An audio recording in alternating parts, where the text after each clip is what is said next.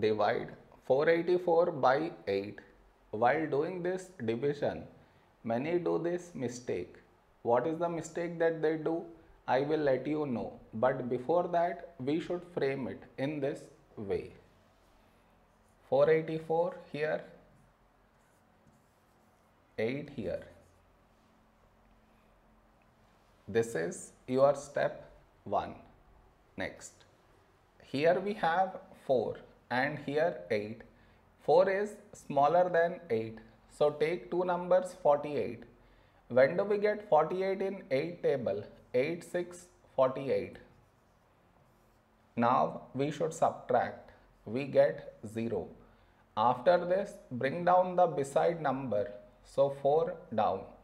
After this step, the mistake happens and the mistake is this. Here we have 4 and here 8. 4 is smaller than 8. So what many do is they directly put dot take 0 which is wrong.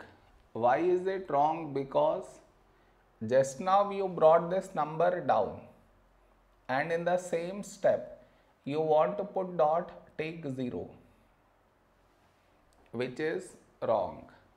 I repeat bring down the number and also put dot take 0 bring down the number and put dot take 0 both at the same step you should not do. Instead of that what we should think of doing is which number should we take here? If I take 1 we will get 8 but 8 is larger than 4 so what we do is we take 0 so 8 into 0, 0.